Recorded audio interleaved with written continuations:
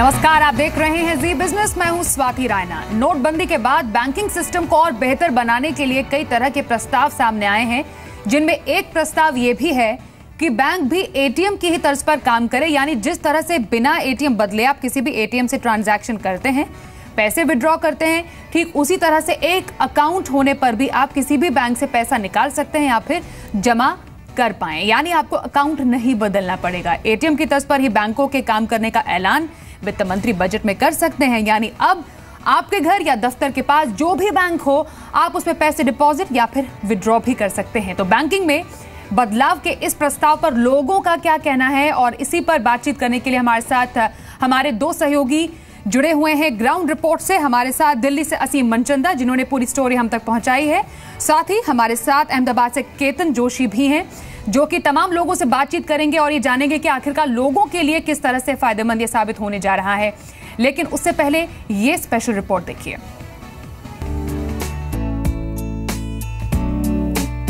अगर आपके आसपास आपके बैंक की ब्रांच नहीं है तो भी आपको दिक्कत नहीं होने वाली है।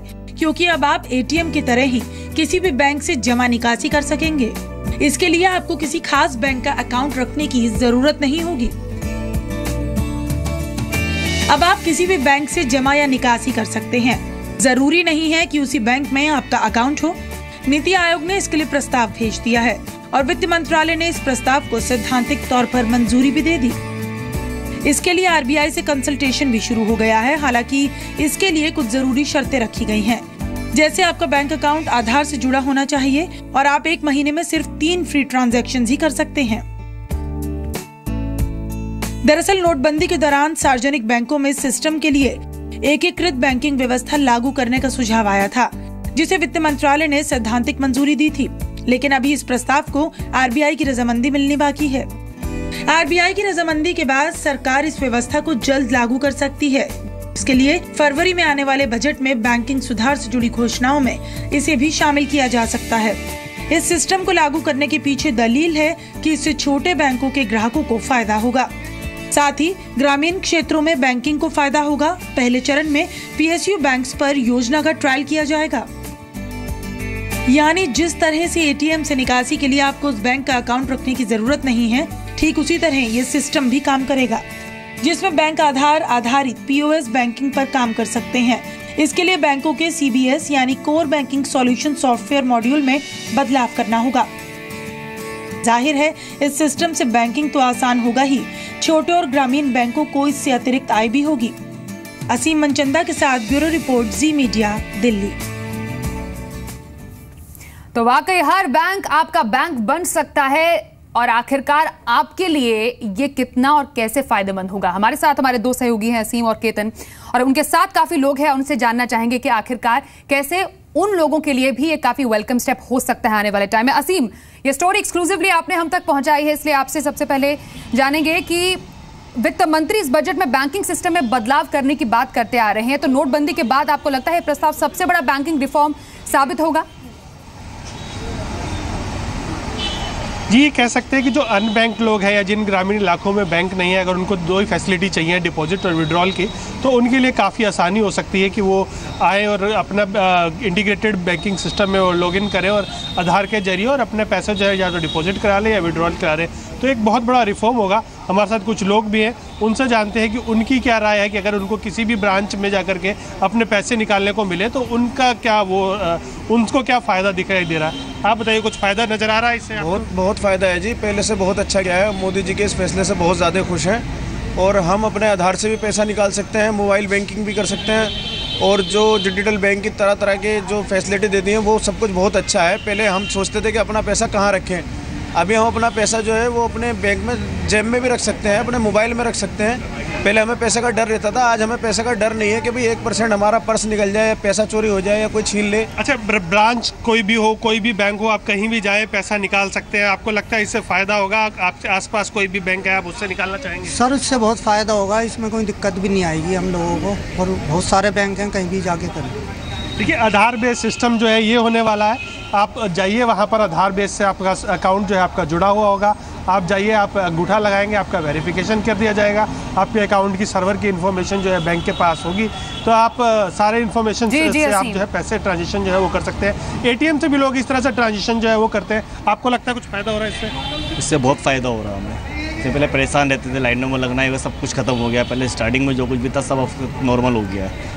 स्टार्टिंग में बहुत दिक्कत हुई थी हमें तो देखिए सिचुएशन लोगों को ये लगता है कि अगर आपको किसी भी बैंक में जा करके आप अगर वहाँ पे पैसा डिपॉजिट करा पाएँ या निकाल पाएँ तो आपके पास बैंक का कोई खास ज़्यादा बड़ा मतलब नहीं रहेगा। अधिकतर लोग जो है अपना सेविंग अकाउंट इसीलिए खोलते हैं। बाकी दूसरे फैसिलिटीज़ जो है वो बैंक के पास ही रहेंगी, जिसमें उनका करंट अकाउंट है चेकबुक है ड्राफ्ट है लोन अकाउंट्स हैं, वो सारे उसी बैंक के पास रहेंगे। लेकिन ये सेविंग अकाउंट के लिए आपको किसी भी जगह पर, यानी कि अगर छोटे शहर में आपके कोई एक ही ब्रांच है तो आप वहाँ जाकर आपको एटीएम ढूँढने की ज़रूरत नहीं है। आप उस ब्रांच के अंदर जाकर ही आराम से अपना इंटीग्रेटेड अकाउंट के ज़रिए पैसा जो है वो निकाल सकते हैं। जी तो आने वाले बजट में अगर ये प्रस्ताव पास हो जाता है तो हर बैंक आपका बैंक बन जाएगा। दिल्ली में लोगों ने तो इस फैसले का स्वागत किया है।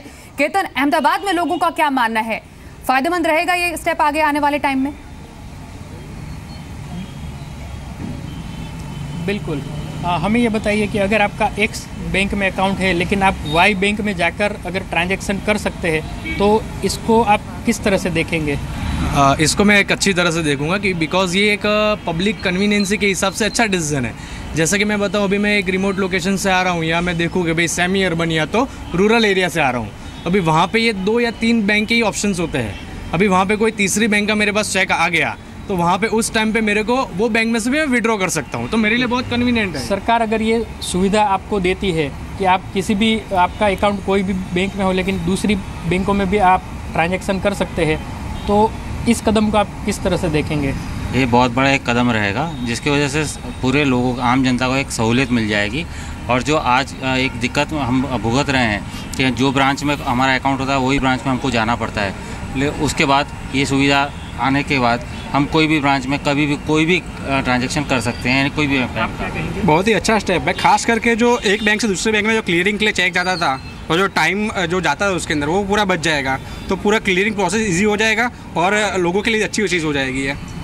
तो सुना आपने कि लोगों ने ही इसका डेफिनेशन दे दिया कि कितना सरल होगा अगर सरकार इसको लागू करती है। तो अहमदाबाद के लोगों ने भी इस कदम को जो प्रस्तावित कदम है उसका स्वागत किया है। जी जी अहमदाबाद के लोगों ने भी फैसले का स्वागत किया लेकिन कुछ और अगर बारीकियों पर बात करें इसके असीम जैसा कि सूत्रों के हवाले से खबर आ रही थी कि ऐसा हो सकता है आने वाले टाइम में एटीएम से जो आपके विड्रॉल की सीमा होती है, वो तीन अगर होती है तो उसके बियॉन्ड आपको ट्रांजैक्शन फ़ी लगेगी। तो क्या अगर ऐसी सुविधा बैंकों में भी दी जाती है, किसी भी बैंक से भी जाके विड्रॉ पैसे कर सकते हैं, उसमें भी एक लिमिट रखी जाएगी कि इतने ही आप पैसे विड्रॉ कर सकते हैं, जितने विड्रॉ लिमिट के बियॉन्ड आपको ट्रांजैक्शन फ़ी लगेगी। देखिए, तीन ट्रांजेक्शन जो है, हमें पता चल रहा है कि वो फ्री रहेंगी। जिस तरह की एटीएम के अंदर जो है, वो फ्री होती है। उसके बाद अगर आप चौथी ट्रांजेक्शन जो है, वो करते हैं तो उसके ऊपर आपको जो है, कुछ चार्जेस जो है, वो चुकाने पड़ेंगे। लेकिन आप देखिए कन्वीनियंस आपके लिए कितना होगा कि आपके लोकेलिटी में एक ही बैंक है, आपका वहाँ पर अगर अकाउंट है, और आप आप शहर में आते हैं, आपके शहर में किसी भी बैंक से आप पर आकर के पैसे जो है, वो निकाल सकते हैं, अगर आपके बस एटीएम नहीं है तो। क्योंकि मोस्ट प्रॉब्ली गाँव में जहाँ पर आप बात करें अकाउंट्स के साथ एटीएम जो है, वो नहीं होते हैं, और उसको शहर में आता है तो आराम से कहीं भी पैसा निकाल सकता है। या ये करिए कि आपका अकाउंट किसी एक बैंक में है। आप किसी छोटे शहर में जाते हैं, वहाँ पर वो बैंक का एटीएम भी नहीं है, दो दो का चार चार, पाँच पाँच किलोमीटर तक, और एक बैंक ही है वहाँ पर तो आप उसमें भी जा करके अपना पैसा जो है, वो निकाल सकते हो। तो एक सहूलियत है, जिसके लिए अगर आपको तीन ट्रांजेक्शन जो है, वो फ्री रहेंगी, जिस तरह की एटीएम में फ्री रहती है, उसके बाद आपको जो है, थोड़े से चार्जेस जो है, वो चुकाने पड़ सकते हैं। जी जी, लेकिन चार्जेस पर लोगों का क्या कहना है? इस पर रिएक्शन ज़रूर लेंगे उससे पहले मुंबई आपको ले चलते हैं, और इसी प्रस्ताव पर हमारे सहयोगी राहुल शुक्ला ने भी लोगों से उनकी राय जानी। है। सुनिए। ये इंटीग्रेटेड बैंकिंग सिस्टम की जो बात कर रहे हैं, वाकई कितना फ़ायदेमंद होगा? लोगों की राय जानना ज़रूरी है कि आखिरकार वो सोचते क्या हैं? नीति आयोग के इस फैसले के बाद कुछ लोग हमारे साथ हैं। बैंक के बाहर इस वक्त खड़ा हूँ। आपसे जानना चाहूँगा कि सरकार का जो ये फैसला है, कितना फ़ायदेमंद होगा लोगों के लिए? बहुत ज़्यादा फ़ायदेमंद हो सकता है, क्योंकि अगर हम लोग किसी रूरल एरिया में जाएँगे, अगर वहाँ पे अपना अकाउंट नहीं होगा, वहाँ पे कैश इतनी एक जगह से दूसरी जगह हम लोग कैरी नहीं कर सकते। It will be useful the people जो मतलब डिपॉजिट करना चाहते हैं इमरजेंसी तो डिपॉजिट कर सकते हैं अपने आधार कार्ड को लेके। खासतौर पर रूरल पॉपुलेशन या फिर अर्बन पॉपुलेशन की भी बात करें तो यहाँ पर कई बार होता है कि कई एटीएम नहीं होते हैं और ब्रांच ओपन रहता है बैंकों का। तो आपको क्या लगता है कि कितना हेल्पफुल होगा अर्बन पॉपुलेशन के लिए? मोस्टली क्या होता है अभी सिटीज़ में भी आप देखोगे तो आप दूसरे बैंक में जाओगे they are limited transaction so sometimes people are restricted कि हम लोग इतना ही ट्रांजेक्शन करें। Of course this will help out even in rural areas we can talk about तो एक ब्रांच किधर और रहती है, एक ब्रांच किधर, दूसरी जगह रहती है। तो लोगों को बहुत तकलीफ़ होती है इस बारे में। क्योंकि इधर से उधर जाना एक एटीएम के लिए खाली।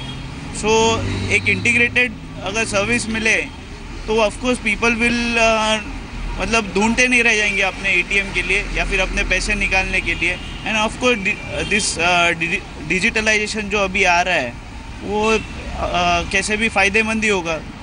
वाकई यहाँ पर फीडबैक बहुत अच्छा स्ट्रॉन्ग है कि एटीएम को लेकर काफ़ी समस्या हुई है। पिछले दो ढाई महीनों की अगर बात करें लोगों को एटीएम तक जाना तो पड़ता था, लेकिन एटीएम कई बार बंद होते थे। ऐसे में ब्रांचेस ओपन होते थे, लेकिन खाते कहीं और होते थे, इसकी वजह से लोगों को और ज़्यादा दिक्कतों का सामना करना पड़ता था। लेकिन अब जबकि ये फैसला आने वाला है, आरबीआई को अपने रूल्स एंड रेगुलेशंस फॉर्मेशन की तो प्रोसेस में करना होगा। लेकिन जैसे ही आए, ये फैसला और सरकार ये कदम उठाती है आगे चलकर लोगों के फ़ायदेमंद में ज़रूर होगा।